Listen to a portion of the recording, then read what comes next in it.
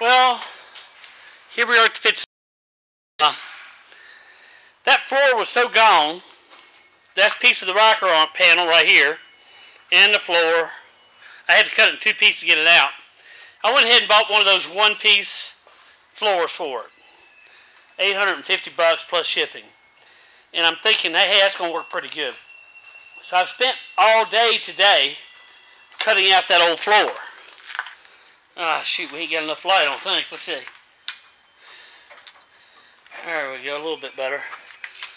And uh, I'm stuck right here drilling, see all those spot welds, spot welds I drilled out, getting that back seat brace out.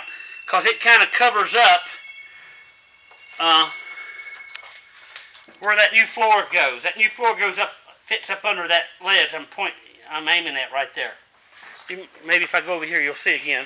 Right here. So I got to get all that out of the way so I can slide that new floor in there. Meanwhile, you know, the rocker rocker panels was gone, so I went ahead and just cut them out. A lot of people will brace this up. They'll brace that body up, but I'm thinking, why do that? Because, you know, when I put that new floor in, if I mount get this mounted in the right place,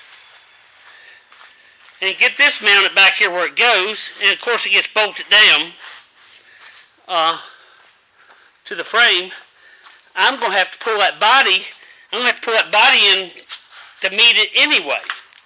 So, I don't see the need in that. So, what I'll do is get that floor welded in right here, and in the back here, tacked in the middle, center, and start pulling everything to it and then checking my doors and stuff and getting them right. So that's the uh, Kenny's Rat Rod 57 build.